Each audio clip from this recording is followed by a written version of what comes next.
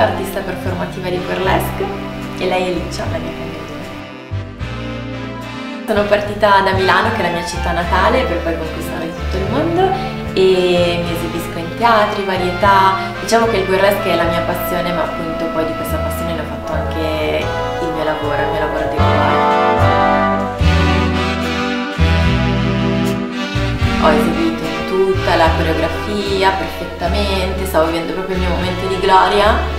sotto tutti i miei invitati, tutte le persone che volevo lì presenti in quel momento importantissimo per me e alla fine proprio il reggiseno non si è aperto. Quello che mi chiedono spesso è se effettivamente appartengo a una famiglia di circensi o di artisti, ma che in realtà non è assolutamente così, infatti sono sempre stata un po' guardata nella serie, nella mia famiglia, ma davvero questo è il tuo lavoro? Ho veramente trovato quella che è la mia professione a 360 cioè essere me stessa, esprimere me stessa, che poi è anche il lusso dell'essere donna oggi.